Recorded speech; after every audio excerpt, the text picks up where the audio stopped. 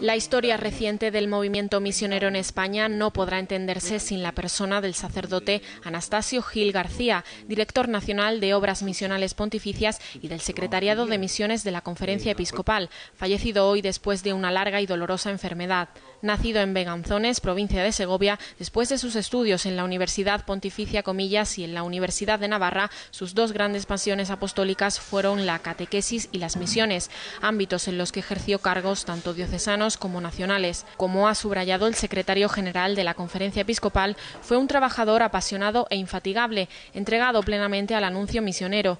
Era un hombre de recia espiritualidad castellana que sabía escuchar a las personas y no quedarse impasible ante sus necesidades, en particular las de los más pobres. Y para él la mayor pobreza era carecer de la palabra vivificadora del Evangelio.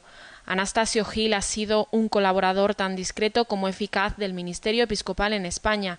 Su trabajo al frente de obras misionales pontificias ha supuesto un relanzamiento de esta institución en uno de los países que más misioneros han ofrecido a la Iglesia Universal. Todos ellos encontraron siempre en él un padre y un hermano atento a sus necesidades de todo tipo. La Iglesia en España da gracias por la vida de este sacerdote ejemplar que dejaba por donde pasaba el inconfundible perfume del Evangelio. Descanse en paz.